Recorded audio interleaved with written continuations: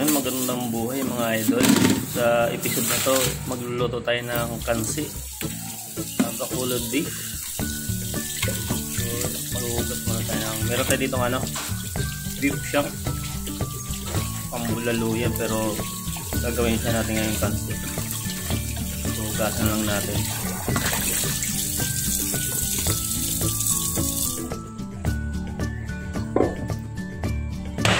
Tapos natin hugas so magano tayo ng bawang. Uh, tagtag tayo ng bawang.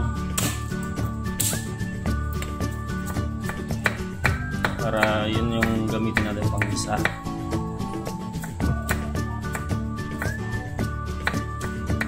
Tapos maghiwa din tayo ng sibuyas dalawang piraso lang. Normal lang nahiwa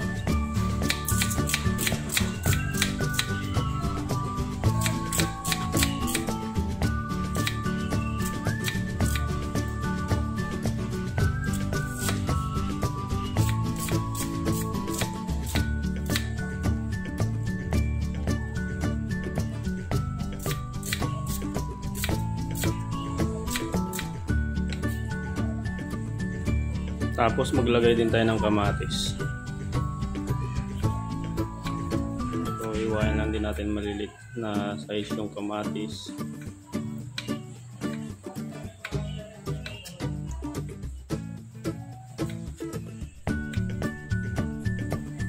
Siyempre hindi kompleto yung kanse kung walang langka, hilaw na langka. So gagayatin lang din natin na medyo manipis para madaling lumambot.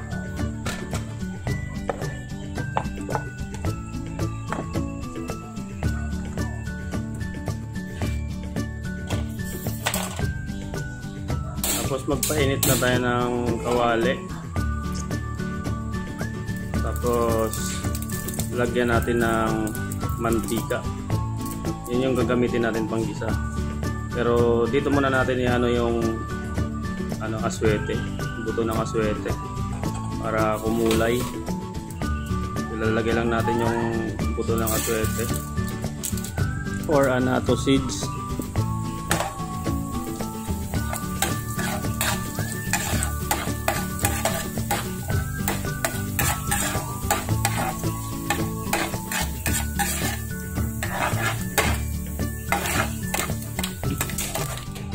Tara magluto na tayo.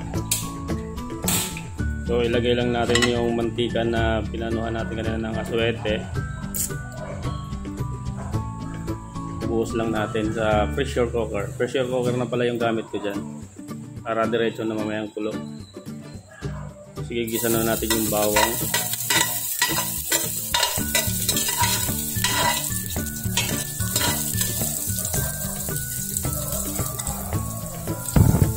Tapos lagay din natin yung ano, sibuyas. Igisa din natin yan.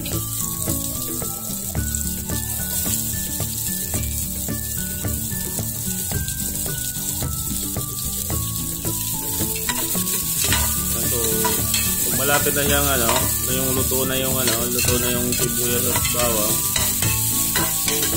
Lalagay na natin yung ano, beef shank.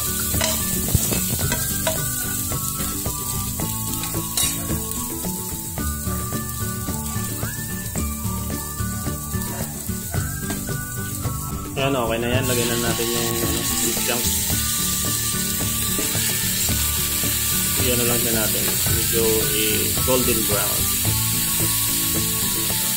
Para matanggal yung lansa.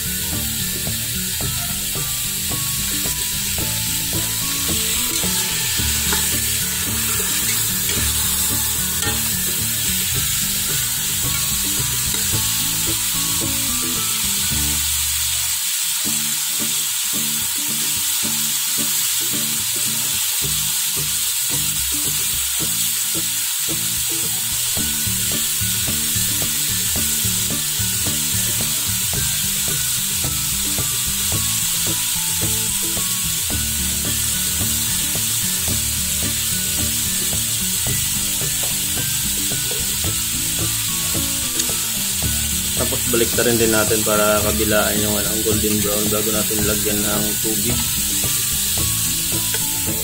Yan, break ka rin lang natin.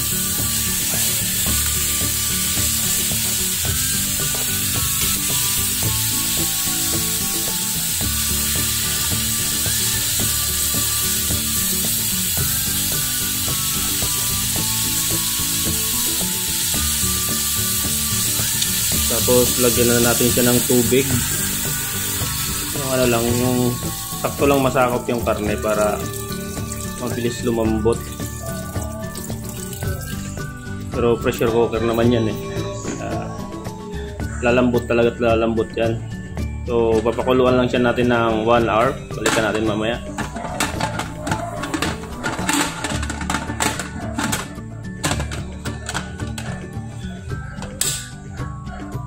So yan, pagkatapos ng isang oras, yan. So tanggalin muna natin yung ano niya. Para sumingaw, hindi sumabog yung pressure cooker.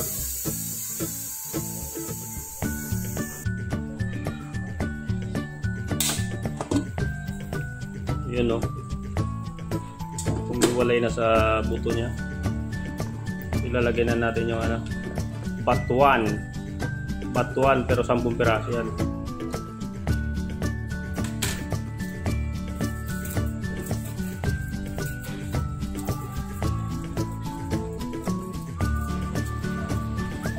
Tapos maglalagay na rin tayo ng tanlad.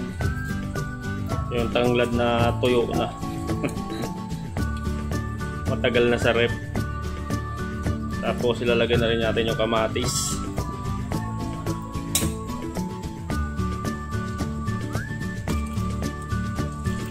Dagdagan natin ng konting tubig. Para pakuluan natin ulit. Pero hindi na natin isasarado yung pressure cooker kasi malambot na yan eh. Lulutuin na lang natin yung ingredients. Lalagay din tayo ng pamintang durog.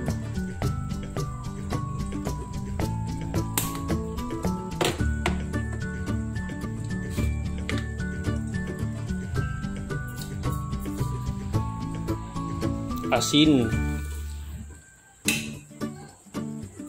Tapos lalagyan din siya natin ng magic sarap.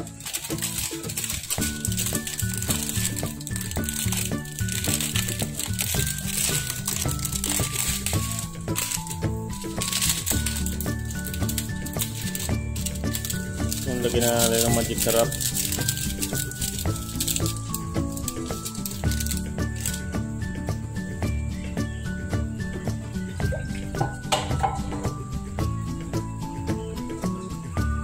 Haluin.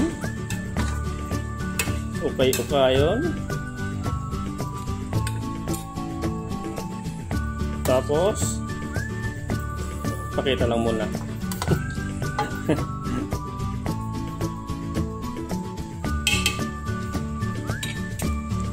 Tapos takpan natin muna para maluto yung ano. Lumakot yung batuan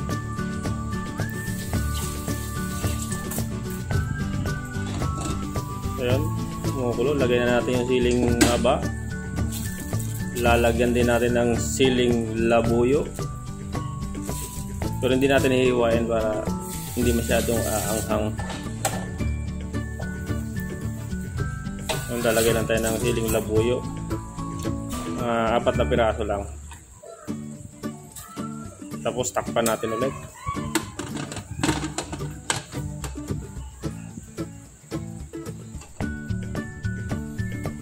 Yun o.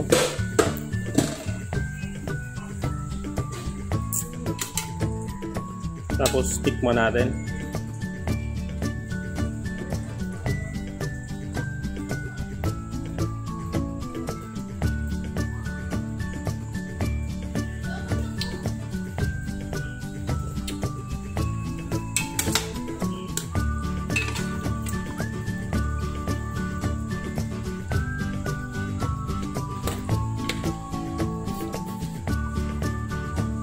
Kaya nagdagdag tayo ng konting asin kasi medyo matabang.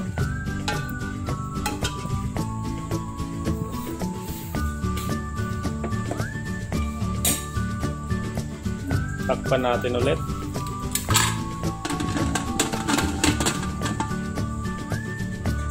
Buksan na naman natin. Ilalagay na natin yung langka.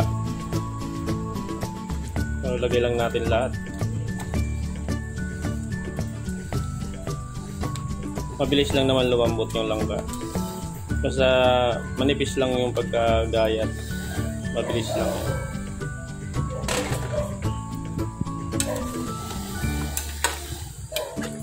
Pailalim lang natin.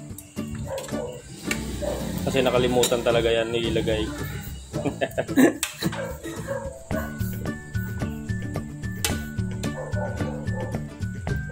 Tapos takpan natin ulit.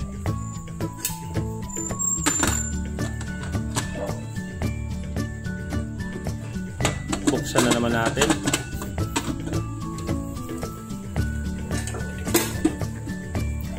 Titikman natin ulit.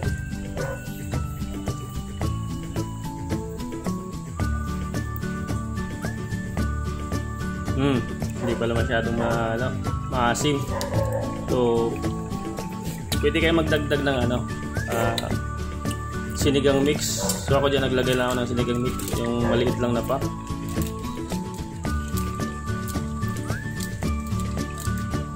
Kasi kulang sa asim eh.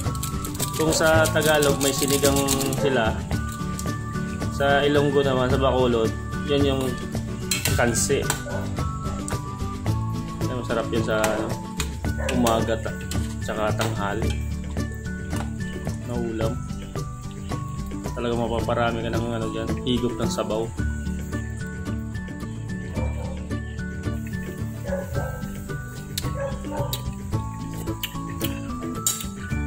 So ayun, ayos na. Lilipat na natin sa mangkok. So yun o. Oh. Ooh. Ah, sarap. Namit gid